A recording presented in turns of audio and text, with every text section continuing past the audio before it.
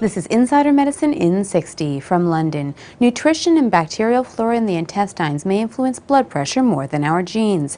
A study published in Nature analyzed the urine metabolites or breakdown products of over 4,600 subjects and found that various nutritional factors influence the risk of developing high blood pressure, including high salt diet, formic acid, and the presence of alanine, an amino acid found in animal meat. From Philadelphia, the American Heart Association is recommending that those diet diagnosed with ADHD be screened for heart conditions because stimulants used to treat the condition may raise the risk of high blood pressure and arrhythmias.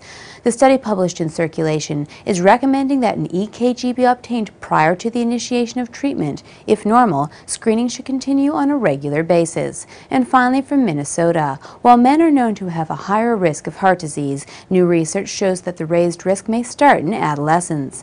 In a study that followed over 500 adolescents for a number of years, Males and females were similar in terms of blood pressure, blood fats, and cholesterol at the start of the study.